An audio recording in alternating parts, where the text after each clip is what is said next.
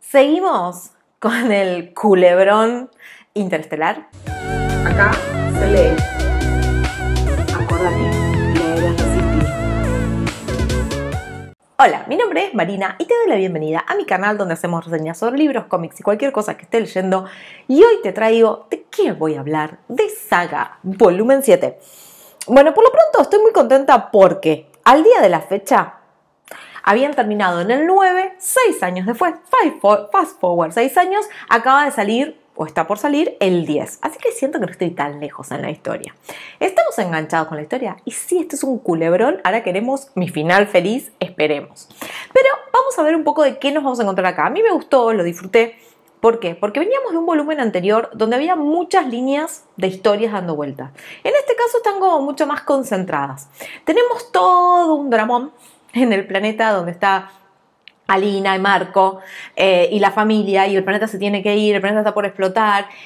El príncipe robot que flashea cualquiera genial. Bueno, todo un tema de ahí. Eh, bastante intenso, bastante intenso emocionalmente y conflictivamente lo que ocurre. Y también tenemos el regreso de quién va a ser, de uno de mis personajes preferidos en la vida, que es The Will que The Will ya está, o sea, The Will, está, The Will soy yo.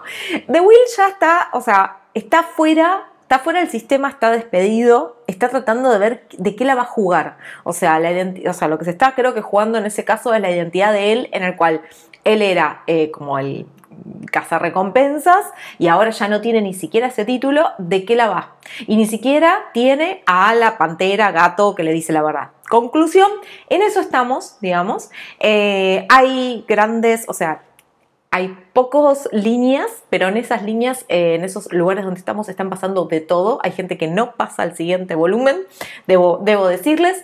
Eh, así que pusieron la carne al asador, empezaron a mover y empezaron, al mejor estilo Game of Thrones, vamos a empezar a volar gente. Y nada, estamos atentis, atentis a ver qué pasa en el siguiente eh, volumen, que lo tengo que comprar por Book Depository, pero mientras tanto seguiremos siendo altos fans de saga. ¿Cómo vas vos? Contame qué te parece. Yo no sé si voy a, leer Why the Last Man. Ayer en el, vivo hablamos de que no es la misma... Ella tiene cosas, o sea, porque además de la historia tenemos que decir que es ella, es ella haciendo, haciendo esta magia bellísima. Eh, lo que me dijeron es que Why the Last Man no, no dibuja Fiona Staple, así que no sé, no sé si lo voy a leer. Creo que solo voy a leer Saga y terminará cuando termine. Bueno, como siempre, cuéntenme, porque lo divertido pasa acá abajo.